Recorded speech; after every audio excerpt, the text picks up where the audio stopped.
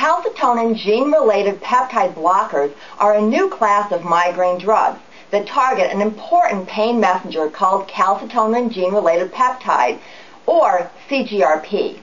CGRP is a natural chemical in your brain and nerves.